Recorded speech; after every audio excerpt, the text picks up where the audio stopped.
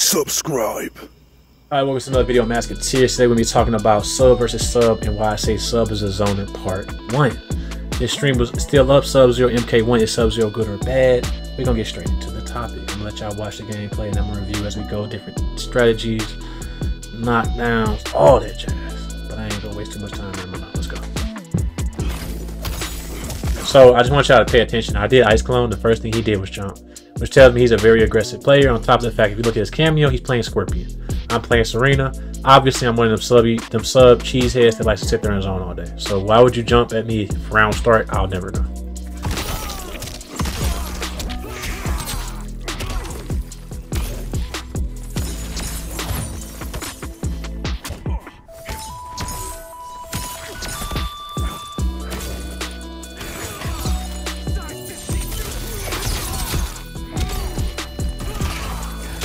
Ooh, good counter.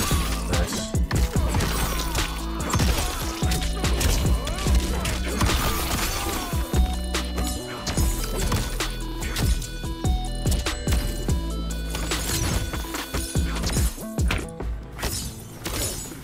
Oh, another thing, just in case y'all didn't know, the dive kick, if I kick you in the head or chest, it's not going to allow me to combo you. If I kick you in your kneecaps and your legs, it allows me to juggle you. Just so y'all know. Same thing with the block advantage. If I kick you in the head or your chest, I'll go negative, and then you get to pretty much punish the bejeebies out of me. Slash, if I decide to keep going, it's kind of iffy. But if I go for your legs and your kneecaps, it's my turn.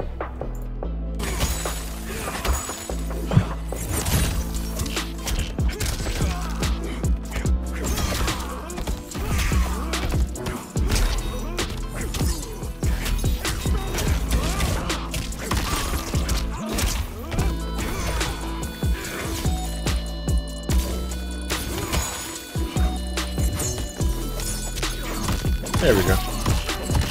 Now y'all saw I use jumping one into back two. Jumping one allows you to actually chain into back two because the hit advantage is so high. And that pretty much equals a be way better version of using back two. However, I just want to point out doing back doing jumping one into back two can catch some people off guard and block, but if they mash, you're gonna eat a full combo. I prefer to you all use jumping one and then back three, which is his trip, but I'll do a video about that separately.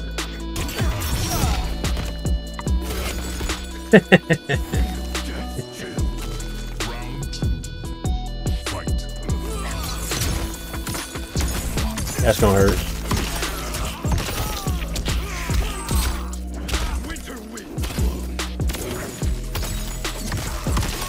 So y'all seeing people are creatures of habit, right?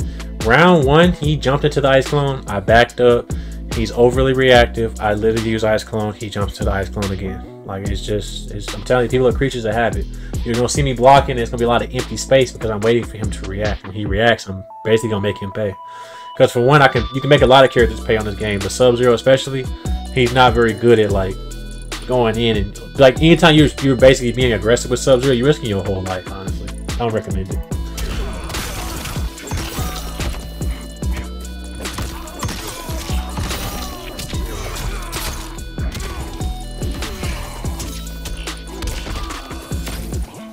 Something else I want to point out. He did ice slide, right? Ice slide on wake up. Back jump is one of the safest options you can do on wake up. If you don't want to take any risk on wake up, in most cases, unless the opponent has a really good anti-air, like say like smoke or uh, homelander, when you jump back on wake up, most cases if they wake up with a meterless reversal or metered reversal and they do something that's heat seeking, whether it be shadow kick, slide, etc. When you jump back, if you jump back at the right time, you can actually land on top of the move and get a full combo.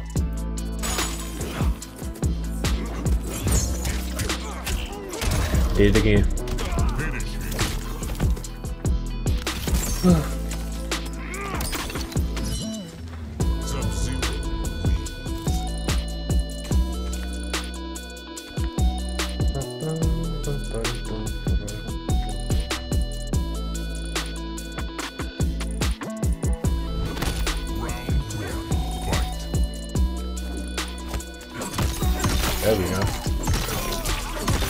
And you see after I use jumping when he used back too. Hey, we be learning off each other. He probably already knew it, but we he had to show me a little something. So.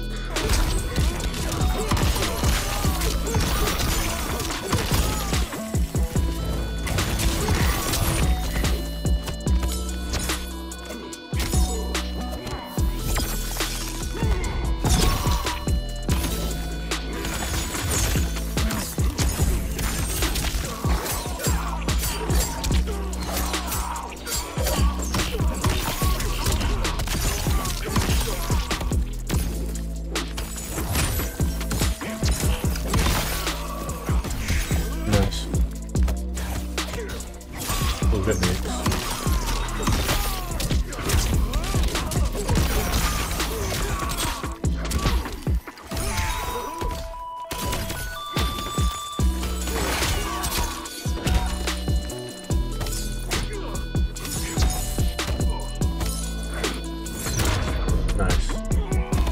That dive kick everybody says so great. Such a great move.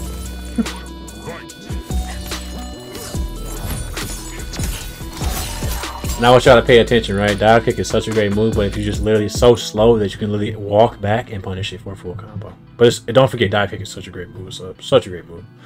And I don't want to shit on dive kick at Sub Zero, but I feel like if it was just a couple frames faster, it'd be a lot more deadly. Let's say if that was, I don't know, 13, 14, 15 frames just two frame, three frame difference, it'd be a lot more of a threat because even though you get a full combo off of it, if you hit it right on the right arc, um, you most of the time people are just gonna walk back, up block it, down to it. it I've seen I've seen people trip dive. It's, don't believe the hype.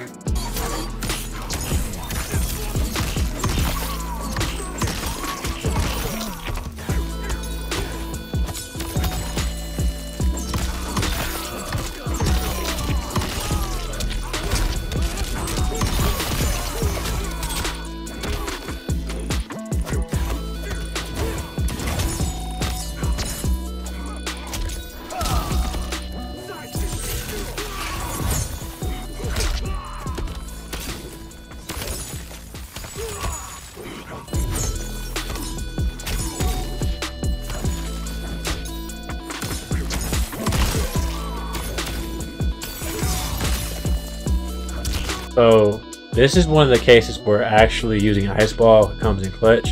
If you use Ice Ball, not at full screen, but let's say almost full screen, like far range, right? And you do Ice Ball, you have enough time to actually forward dash and get like a full combo. So you're gonna see that real quick.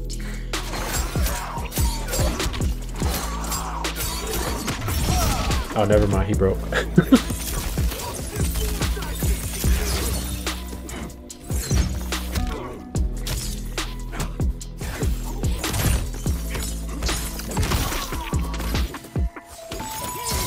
Uh-oh.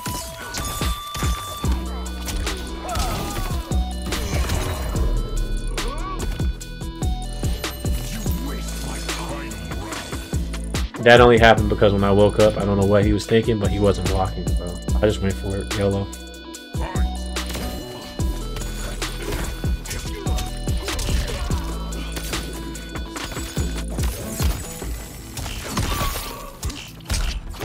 Now, what I just did when I jumped and didn't do anything, that's called an empty jump. Because I basically conditioned my opponent at this point that I'm going to jump and react, he threw Ice Clone thinking he was going to freeze me, and I didn't do anything because the, the power of nothingness, as though Frosty Grandpa, shout out to Frosty Grandpa, has stated so many times, sometimes the most powerful thing you can do is nothing.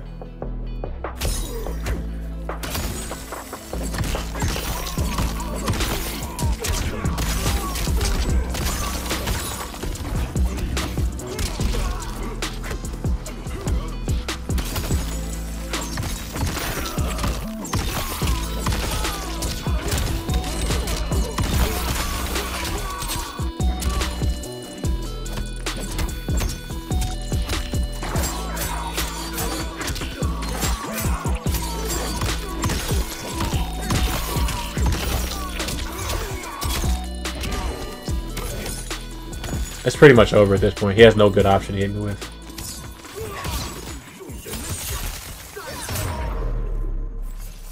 Finish him.